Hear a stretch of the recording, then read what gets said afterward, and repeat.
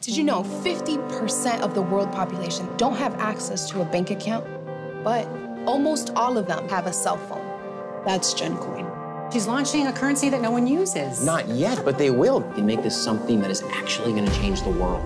I do what I have to, but I'm trying to change that. It's digital currency, unregulated, untraceable. Agent Rask, Special Agent Pierce. You gotta ask yourself one question.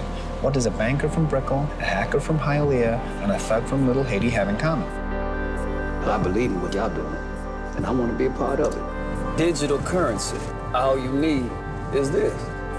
This is your mess, and I'm gonna clean it up. We can own this damn city. That money isn't yours. This is supposed to be a legitimate business.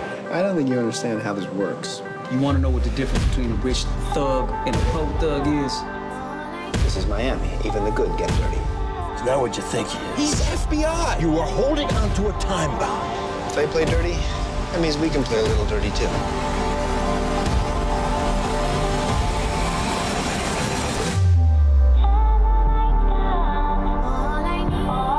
It's the future, not just of crime, but of commerce.